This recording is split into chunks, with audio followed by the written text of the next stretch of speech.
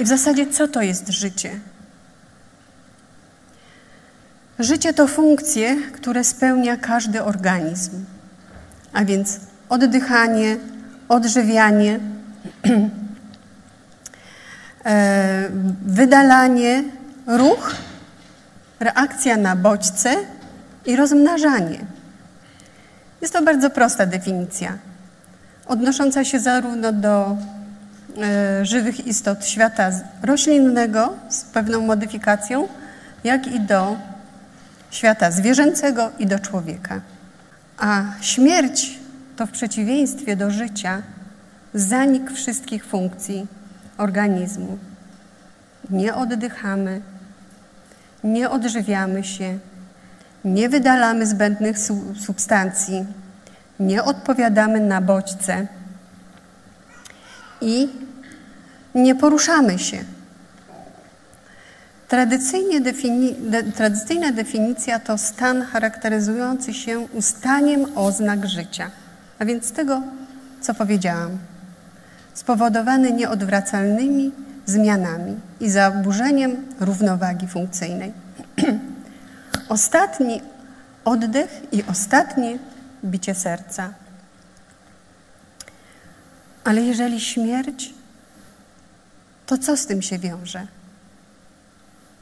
Jeżeli śmierć, to jak ona przebiega? Jeżeli śmierć, to co zamiera pierwsze? Serce, nerki, mózg, umiera komórka. Jak to w zasadzie jest? A jeżeli umieramy, to kiedy pobrać narządy do przeszczepu? Etyczny problem żeby jeszcze można go było, żeby je jeszcze można było użyć, ale żeby nie skrzywdzić dawcy. Tak? Czy podtrzymanie pracy serca i oddechu bez pracy mózgu to życie, czy już nie? Czy człowiek jako istota ludzka to tylko materia, materia doskonale ukształtowana i doskonale funkcjonujące? A co z duchowością człowieka? Czy jest dusza, czy coś takiego w ogóle istnieje? I jakie pozycje naukowe o tym mówią? Takie pytania zadawałam sobie i zaczęły one mi towarzyszyć, kiedy zaczęłam uczestniczyć w procesie umierania i w akcie śmierci. Były to bardzo trudne pytania i bardzo trudne chwile, wręcz tragiczne czasami. Pamiętam, że jako młody lekarz nie bardzo umiałam sobie z tym poradzić. Zadawałam sobie pytanie, czy Bóg jest i co w zasadzie teraz robi? Czyli zupełnie normalne ludzkie pytanie, które człowiek żyjący sobie zadaje w jakimś tam momencie.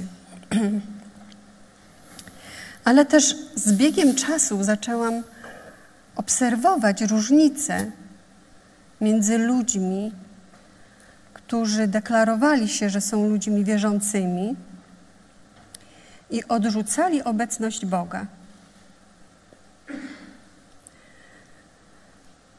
Mówi się, że oczy są właśnie zwierciadłem duszy. I to właśnie te oczy u ludzi, u tych u ludzi, którzy odchodzili, były zupełnie inne. Tak jakby postawił w dwóch innych światach. Pamiętam, pamiętam y, kobietę, którą przyniesiono kiedyś do ośrodka. Wtedy jeszcze z moim mężem pracowaliśmy w ośrodku zdrowia. Przynieśli ją nieżywą. Nie było funkcji, które, o których powiedziałam. Oczywiście podjęliśmy akcję reanimacyjną. Ona się nie udała. Ale pamiętam oczy ludzi, którzy przynieśli tą kobietę. Ile nadziei było w nich, na to, że można by było ją jeszcze uratować. Pannę młodą, która umarła na swoim własnym ślubie. Takiego scenariusza nikt nie przewidział. Nikomu się nawet to do głowy, w głowie nie, nie mieściło, że coś takiego mogło nastąpić, a jednak się stało. Pamiętam niemy krzyk umierającego mężczyzny,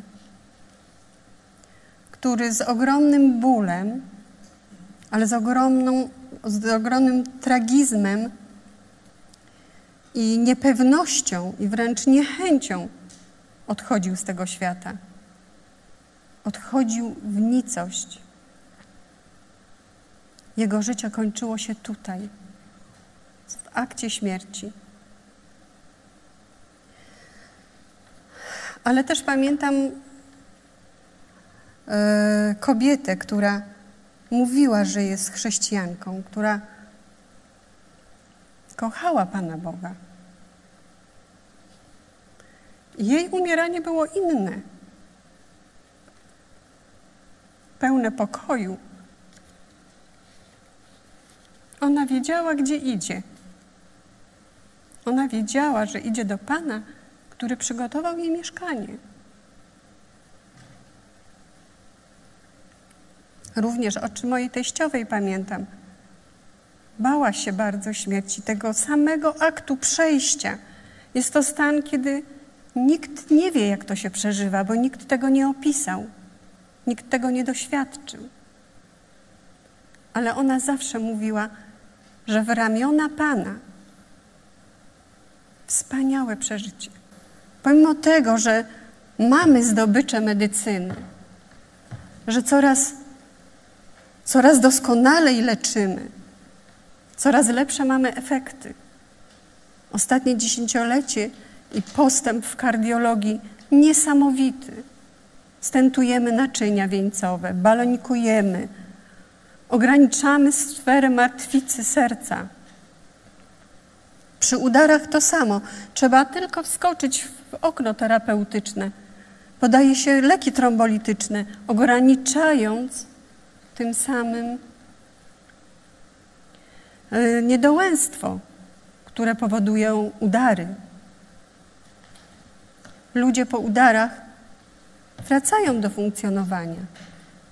Może już nie do tak aktywnego życia zawodowego, ale nie umierają. Nie umierają tak jak kiedyś. Osobiście znam ludzi, którzy mieli przeszczepioną jedną nerkę, drugą nerkę. Leczenie onkologiczne, ile daje nadzieję, nadzieję ludziom, tak?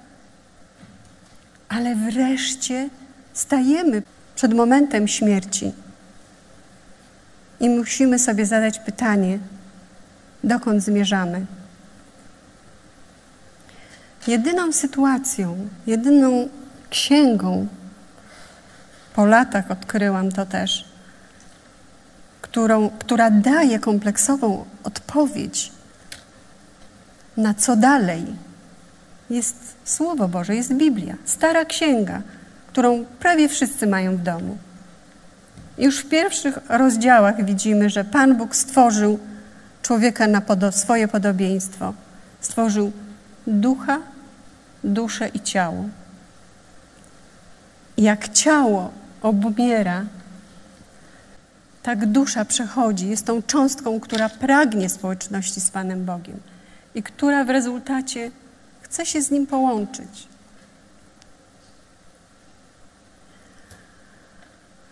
Właśnie. I tylko wtedy, kiedy pokładamy swoją nadzieję w Panu Bogu, wtedy wszystko to, co się dzieje w naszym życiu, z naszą biologią, ma sens. A kiedy to, co zniszczalne, nasze ciało, przeodzieje się w niezniszczalność, a to, co śmiertelne, przyodzieje się w nieśmiertelność, wtedy sprawdza się słowo, które zostało napisane. Zwycięstwo pochłonęło śmierć. To tylko Pan Bóg zwyciężył śmierć. Gdyby nie Jego ofiara na krzyżu, wszyscy bezpowrotnie żyjemy tutaj do momentu śmierci. Gdzież jest o śmierci Twoje zwycięstwo? Bogu niech będą dzięki za to, że dał nam odnieść zwycięstwo przez Pana naszego Jezusa Chrystusa. Pierwszy Koryntian, cały ten piętnasty rozdział wspaniale mówi o obumieraniu i zwycięstwie nad śmiercią. Zachęcam do przeczytania. I na koniec jeszcze jeden slajd. Można dokładnie zadać takie samo pytanie. Czy jesteś gotowy do przejścia na drugą stronę? Dziękuję Państwu.